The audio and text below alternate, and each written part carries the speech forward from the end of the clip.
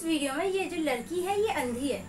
मगर अगर ये अंधी है तो इसने चश्मा कैसे दिया? भाई साहब कुछ ज़्यादा नहीं हो गया मतलब कुछ भी मैं अंधी हूँ लेकिन पागल नहीं मुझे पता ये लड़की कहती है कि मैं अंधी हूँ पागल नहीं। मगर इसे पागल किसने बोला? Oh, no. मैंने तो बोला नहीं ना इस वीडियो में किसी ने बोला।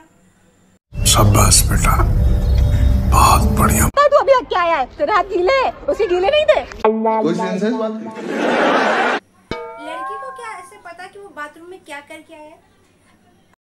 वेल डन तालियाँ होनी चाहिए यार हमारे लिए। भाई मारो मुझे मारो मारो मुझे मारो मारो। नहीं ये मज़ाक हो रहा है एक सेकंड यार मज़ाक हो रहा है।